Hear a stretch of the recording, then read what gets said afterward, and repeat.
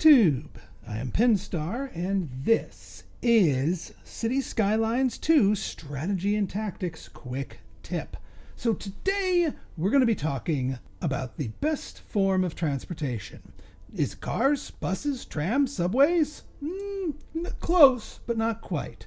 The best form of transportation in the game is pedestrians, aka walking, aka not using up your roads for anything other than your two feet. Getting your Cims to walk to their destination is probably one of the most beneficial things you can do for the health of your city and the traffic therein, or rather, lack thereof. However, there are some tools and tricks that you might want to be mindful of, especially if you are new to the City Skyline uh, series, that can help encourage your Cims to stay on foot and also help keep them out of the way when they are. The one tool, the one of the most important tools for pedestrian use is the pedestrian tool, which is criminally hidden in the landscaping menu, in a sub menu of the landscaping menu. Here, we have the pathways. Now these are available from from the start. If you if you're you know doing progression unlocks, these are available from day one. So you don't need to spend any development points to get these, and they're dirt cheap. Now here you can just build from a, uh, a sidewalk in the same way that you would build a road. Now most of the time you don't need to build these manually. Every single road in the game, whether you want the to or not, comes with sidewalks. Uh, some are meant to have them, like this road right here, and others, even even ones that specifically say they have no sidewalks, like this alleyway here. Yeah, don't don't be fooled by that. People can still walk on the sides of an alleyway. You don't necessarily need to grow, draw these all over the place. Just essentially trace the the pedestrian ways uh, from one way or another. Now, problems arise when you have pedestrian crossings. When Cims want to cross a, a road, they will cause a disruption in traffic. Traffic will stop for them. Um, while there are traffic accidents in this game, I have never seen a car on pedestrian collision, so no worries about Hamburger Highway, but it can cause delays, especially if you have a very frequently crossed area. So one thing you can do to mitigate this is under your road tools, after you've unlocked the road surfaces, you can go here to the crosswalk section, highlight the road that you want and right click. And that will remove any crosswalks that you have from there in the area that you right click. If you want to add it back, just lift click and boom, you got your crosswalk back. So doing this can help. However, comma. This now prevents Cims from getting from one side of the road to the other. And not to mention, it doesn't fully solve the problems because some Cims will jaywalk. They will run across and use the crosswalk even though one does not exist. One other way to get them out of traffic and, and onto the road is through the pedestrian paths. The best way to do that is with a, pedest- a raised pedestrian crossing. Now they come with a couple of these for you up here, although they're more just for decorative and also cost you upkeep. If you want to really be cheap, you can just use the pure pavement paths. Let me show you how. So what you want to do is click the pavement paths, take the elevation step, and click it until it's down to the smallest bar, like that. Now, hook onto one road and click, left click. Now, what you want to do is hit the page up button See how the elevation is going up? Do that until you're at 6.25.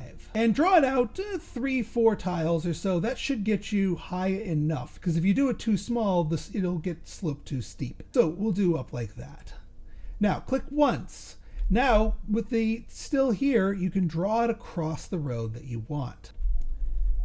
Back down to zero and connected. So now you can have a cim who can now cross this busy highway without going across it. Will that stop them?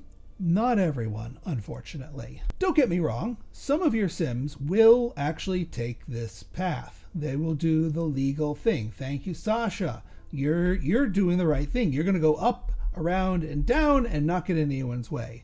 But some of them, despite having this here, some of them will decide to chance it and bolt through traffic like Jeremy Watts here.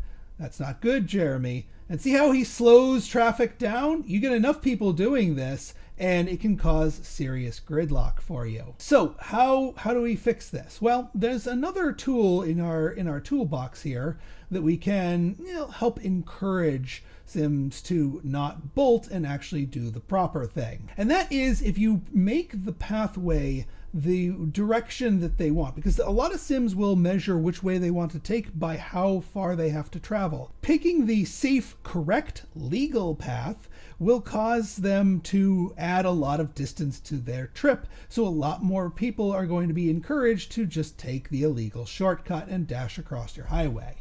How do we fix that? Well, let's just do it straight up. So you could draw something like this that goes with the length of our of our pathway here. This is more efficient and more more likely that your your cims will take this route. However, it causes problems in the form of zoning.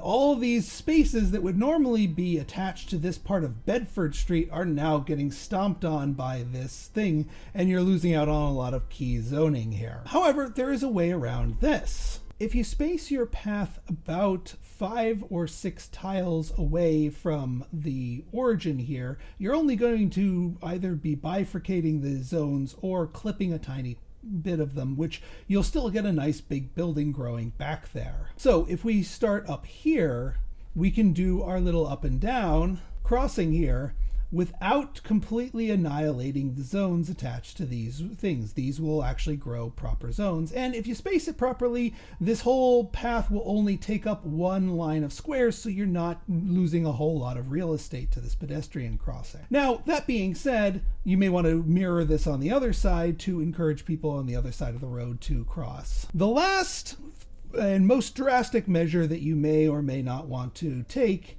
is just to destroy the offending road here. Like I said, all roads, even ones that say they don't, can be walked on by the Cims, at least at the, at the time of this recording. That includes alleyways. So replacing things with like alleyways and things like that are not going to prevent people from being tempted to cross and jaywalk across your thing. So you may be tempted to just bulldoze entirely and make this the only way that your Cims could get over there. So that is a, a solution, though that might encourage your Cims to just drive rather than fuss with the pedestrian crossing.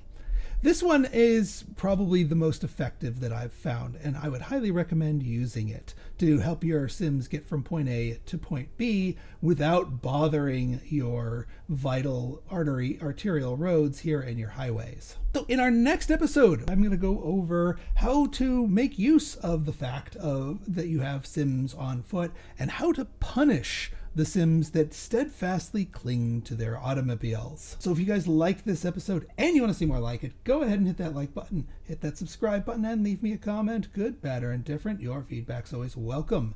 So until next time, this has been Pinstar signing out. See ya!